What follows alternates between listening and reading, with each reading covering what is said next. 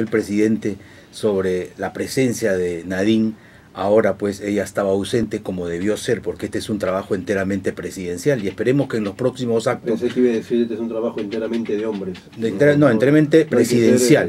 No, opinión mía es de que no en todo debe aparecer la primera dama. Él es el presidente de la República electo por los peruanos y ella es la primera dama y ella tiene su labor propia. No me iba a parecer bien que ella aparezca en esta, en esta acción. Adicional a esa, ese mito que existe que en los eh, asientos mineros, sea socavón o tajo abierto, está prohibida la presencia de la mujer, que poco a poco se ha ido desterrando, ¿no?